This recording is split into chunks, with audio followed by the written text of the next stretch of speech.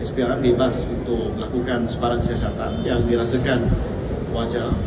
Uh, kita tidak masuk campur. Ya.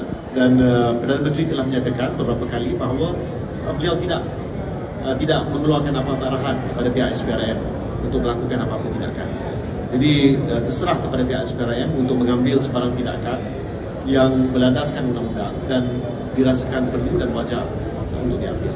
Terserah kepada SPRM. Ini saya tidak lihat ini sebagai satu isu politik uh, dendam ataupun sifat dendam. Uh, itu mungkin timbul daripada perasaan diri beliau sendiri. Saya uh, ingat Datuk Seri Anwar Ibrahim dan Menteri telah menyatakan beberapa kali bahawa it's not personal, nothing nothing personal about it.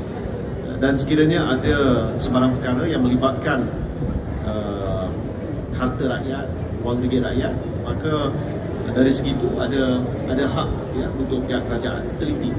Dan dia terpakai kepada semua pihak bukan kepada satu individu ataupun satu kelompok. Dia terpakai kepada semua. Sebagai seorang negarawan beliau harus muhasabah dalam hari-hari senja ini. Kita perlu meninggalkan satu legasi yang murni daripada cuba sama ada menakut-nakutkan ataupun mengeluarkan cerita-cerita seperti ini saya harap beliau lebih bermuhasabah.